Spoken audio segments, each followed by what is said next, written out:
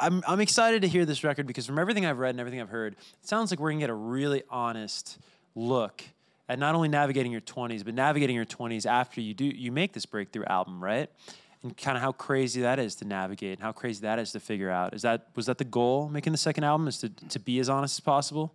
Um, I think that's something that we focus on all the time when we're writing songs. But the craziest part is I forgot this, but his last name means honest in German, which is pretty crazy considering what we, we, do. we just did like we just got done with like a European press trip, and we our la- the last day was in Berlin, and everyone basically was like, "Do you know what your last name means?" It's a big talking point over there. Yeah. Yeah. Um, but both my parents are adopted, so I don't think I'm actually German. I mean, I might be slightly German. I don't really know. I don't know. Thinking about ancestry. Depends on the it's day. Yeah. Yeah, the vibe. um, when you have that breakthrough success, kind of uh, going down this journey of honesty, right, and what you're going to explore on this record, is the initial feeling, is it joy, is it elation, or is it is there anxiety with that, right? Because you, you hope for you hope for success as a musician when you're making you know music growing up, right, and you're coming up. But then, what is the reality of that like? Is it almost like, oh my gosh, what are we going to do now? Like, walk me through it.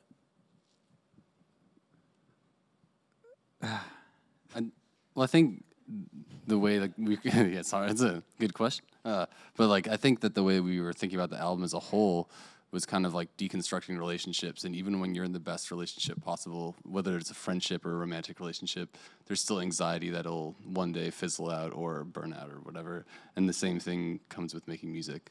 Yeah. It's just like a lifelong kind of anxiety. Whenever something good happens, there's you've been saying this a lot, an equal and opposite reaction somehow in Yeah. your brain that like doesn't believe that it's gonna exist forever. Right. Well, that's I guess what I'm kind of getting at is that apart from the themes of the album we'll, we'll get into, is that when you have that success, 2016, 2017, is there a little bit of like, oh my gosh, what are we going to do now? Right? Because you want this attention, you want this this validation, but then once you have it, it is a little nerve wracking. No.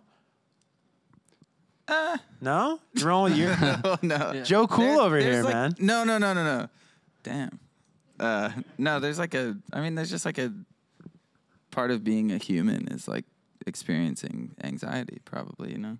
Yeah. Um, whether it's attached to anything at all is like up to your life, like up to you.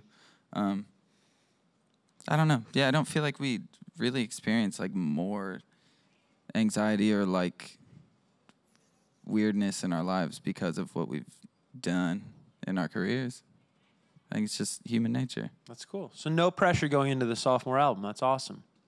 Well, I mean, we I think we put pressure on each other. yeah, Yeah. Sure. like we are hard on ourselves Yeah. for sure, but I don't know. Music is just like a weird industry to be in Yeah. in the first Especially place. now more than ever, right? Yeah, Yeah. probably. Yeah. I don't like checking Spotify being like, are we over a million plays yet? Yeah. But I do it.